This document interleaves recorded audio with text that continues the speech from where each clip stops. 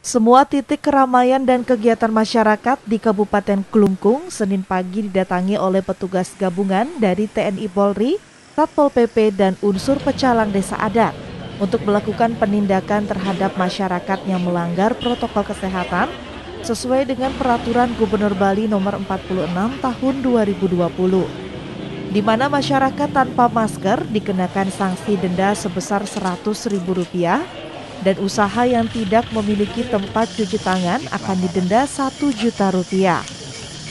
Kalau dia sebatas dia tidak sempurna pemakaian maskernya, kita arahkan dia untuk memakai masker yang sempurna. Hmm.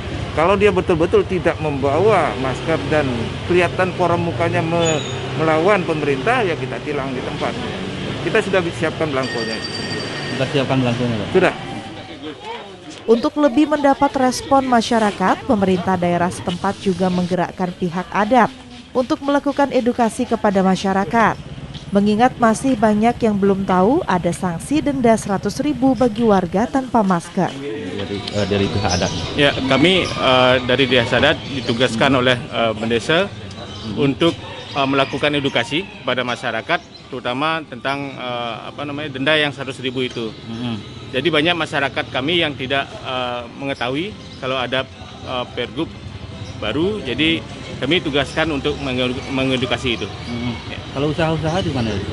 Usaha sudah, yang ada lingkungan. Ya kami sudah menunjukkan anggota-anggota pecalang. Uh, berikut juga dengan uh, Satgas Gotong Royong uh, untuk melakukan sosialisasi keliling. Hmm. Jadi ada calling, kemudian kami juga buat spanduk dalam sidak ini petugas juga membagikan masker secara gratis kepada masyarakat dan unit usaha untuk mengurangi penyebaran COVID-19. Budi Krista Kompas Tewata